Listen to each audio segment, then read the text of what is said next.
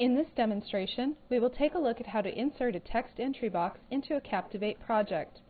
A text entry box is an interactive element that allows the user to type text on the screen. For example, you might use a text entry box in a software simulation to have the user practice entering data into an application screen. You can also add text entry boxes to create simple quiz questions. To add a text entry box, open an Adobe Captivate project and select the slide to which you want to add the box.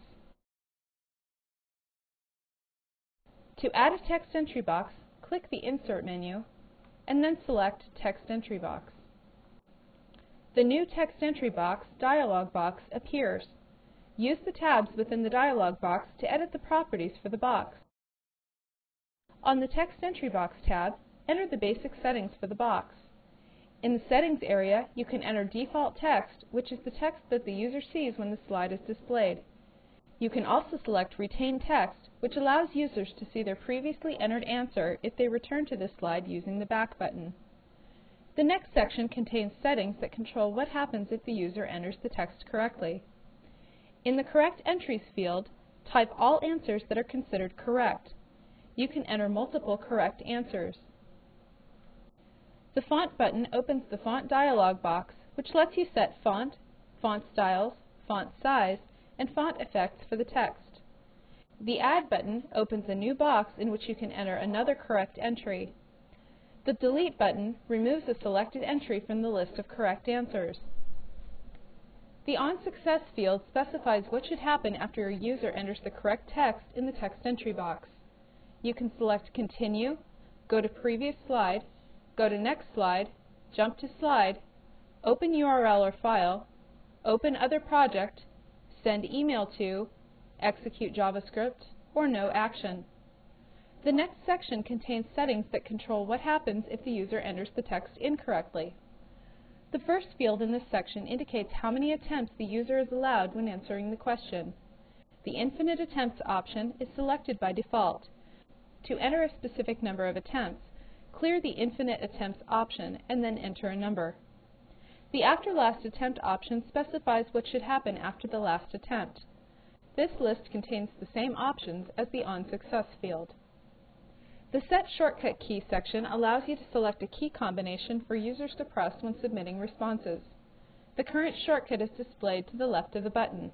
If your Adobe Captivate project will be displayed in a browser, be sure to set shortcut keys that won't conflict with common browser shortcuts. For example, F1, which is frequently used as a keyboard shortcut to display help. The Options tab contains timing and transition settings that are similar to those used with text captions. For more information on using these settings, refer to the demonstration called Creating a Text Caption. The Appearance section allows you to enter transparency and select a background color for the text entry box. The Options section contains a series of checkboxes with various settings for the text entry box. Please note that this includes success, failure, and hint captions. The Audio tab contains settings that allow you to record or import audio clips. These settings are the same as those found in the Text Captions dialog box. To keep score for the text entry box or coordinate the score with the learning management system, use the Settings in the Reporting tab. The Include in Quiz option includes the text entry interaction as a question in the current quiz. The points assigned to this text entry box are added to the score results of the current quiz. The Report Answers setting reports the user's results on the quiz. Enter an objective ID if the text entry question is related to an objective set in your learning management system. Enter an interaction ID if you want the Adobe Captivate project to send tracking information to your learning management system. In the Points field, enter a number or use the arrows to give the question a point value. The maximum point value is 100 points, and the minimum is 0. If you select the Add to Total option, the points of the text entry interaction are added to the quiz total. The Size and Position tab contains settings that are similar to those used with text captions. For more information on using these settings, refer to the demonstration called Creating a Text Caption. Once you have entered all the settings for your text entry box, click the OK button.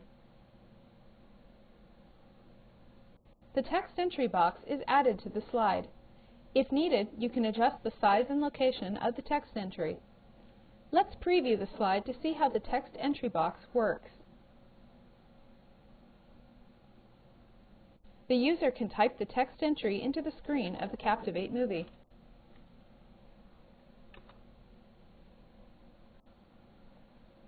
For more information on working with text entry boxes, consult the Captivate Help System. This concludes the demonstration on inserting a text entry box into a Captivate project.